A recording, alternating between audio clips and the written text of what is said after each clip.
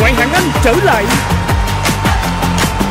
Ưu đãi đặc biệt, các cộng tặng chọn bộ đồ thu và một tháng thuê bao để tận hưởng trọn vẹn mùa giải ngoại hạng Anh. Mở các cộng mở tiệc bóng đá.